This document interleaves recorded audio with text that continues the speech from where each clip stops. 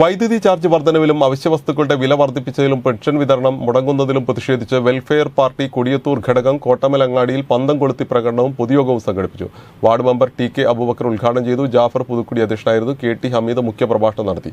Rafeeq Kuttiyot K Abdulla master P P Ashraf Shahid Kavil Abdurahiman Karakkutty T K Ameen V K Sathar C Abubakar എന്നിവർ നേതൃത്വം നൽകി.